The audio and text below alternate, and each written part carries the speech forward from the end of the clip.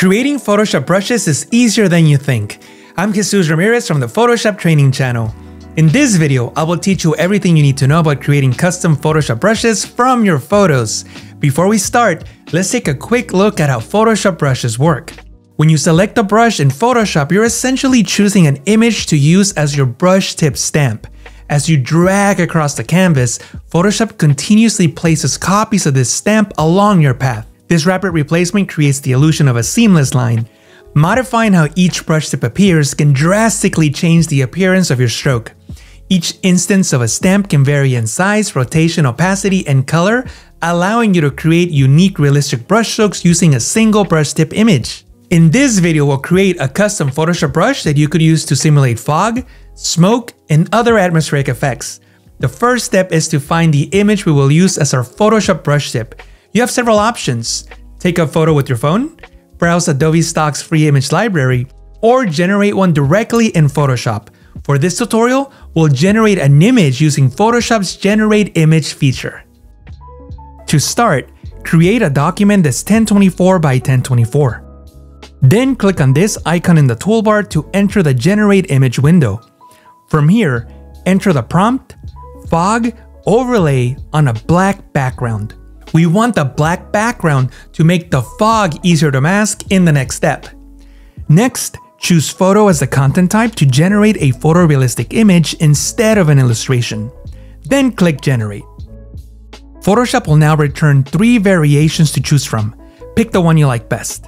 I think this one will work. Most of it is already isolated, we just need to work on the bottom half. Now let's remove the background from the fog.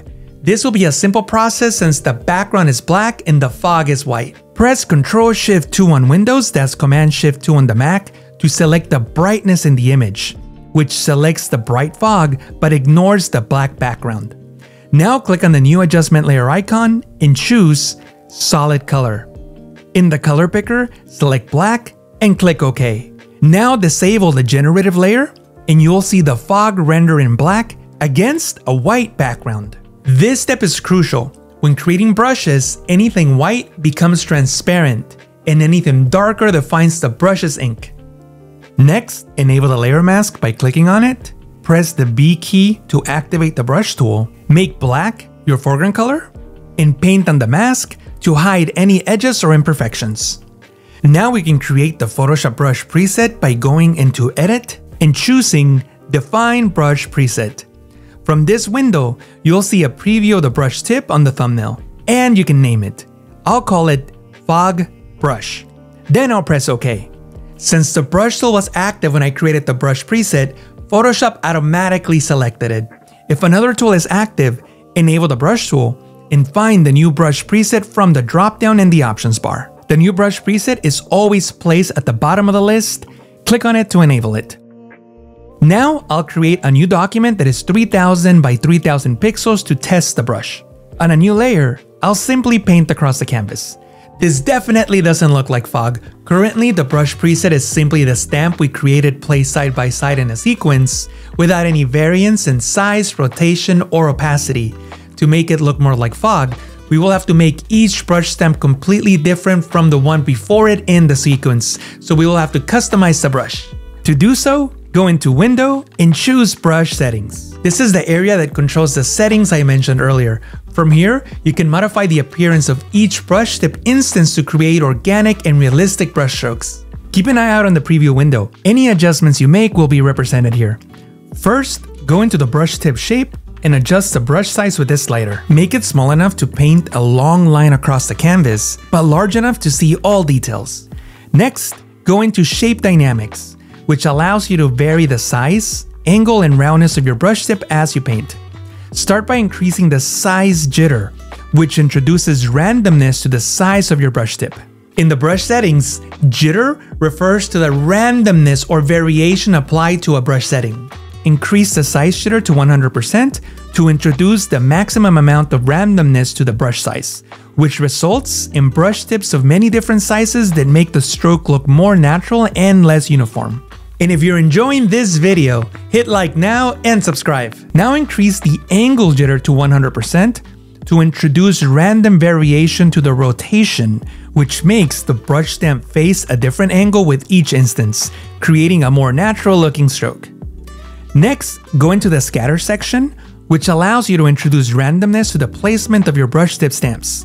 Start with scatter, which controls how much the brush tip's placement deviates from the stroke's path. The larger the value, the more the brush tip spreads away from the center line of your stroke. 75% will work in this case. Now you can increase the count, which determines the number of brush tip stamps applied at each spacing interval along your stroke. A higher count value places more brush tips with each stamp, making the stroke appear denser or more opaque. We can use a count of 2 for this brush. Now let's explore the transfer options, which allow you to vary the opacity and flow of your brush. Set both the opacity and flow jitter to 100%. This will allow you to build a fog effect by painting over the same area multiple times, which can help you create the illusion of depth and density. Let's now try our brand new brush on an image. I have a new blank layer over this photo of a couple camping, and I want to create a more interesting image by adding fog. With the brush tool active, I'll hold Alt on Windows, option on the Mac to temporarily activate the eyedropper tool.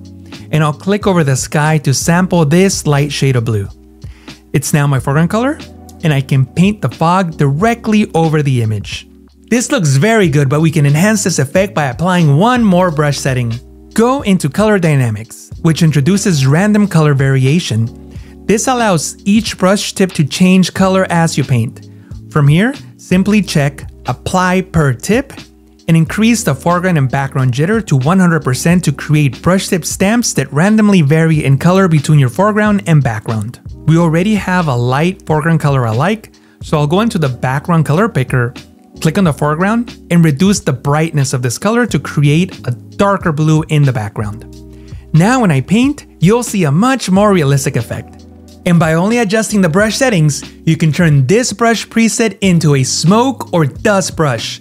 You can download these brushes from the link below as a free gift. And if you made it this far, click like now and subscribe. I'm Jesús Ramirez, thank you for watching.